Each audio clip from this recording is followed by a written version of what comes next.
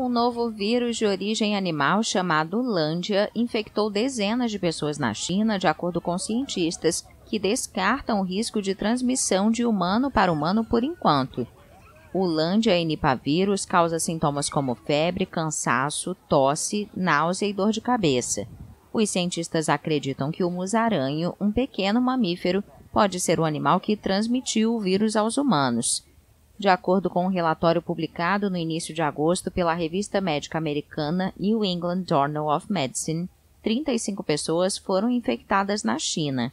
Os pacientes, principalmente agricultores, não tiveram contato próximo nem exposição comum a um patógeno, de acordo com o estudo, o que implica uma infecção esporádica em humanos.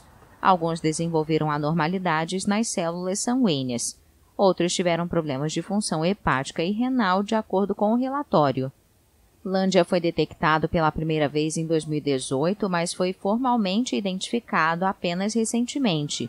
Os cientistas consideram prematuro se pronunciar sobre a possibilidade de transmissão do vírus de pessoa para pessoa, dado o pequeno número de casos. De acordo com pesquisadores da China, Singapura e Austrália que contribuíram para o relatório, são necessárias mais pesquisas para entender melhor a doença associada ao vírus.